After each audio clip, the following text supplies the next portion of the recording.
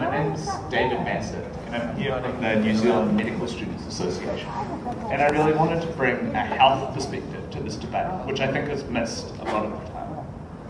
Climate change has been described in the world's top medical journal as the greatest threat to global health of the entire century.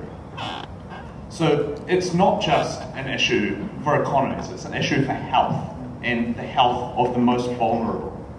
And I think in this, while it is a massive threat, it's also an enormous opportunity to do good, both for the health, but also to reduce the health costs that economies are faced with. Uh, health is the, the second largest uh, set of expenditure for the New Zealand government at the moment, and it's the fastest rising uh, sector of expenditure for the government. And a lot of the strategies that we can use to mitigate climate change, both in New Zealand and internationally, and to reduce our emissions, has significant co-benefits for health.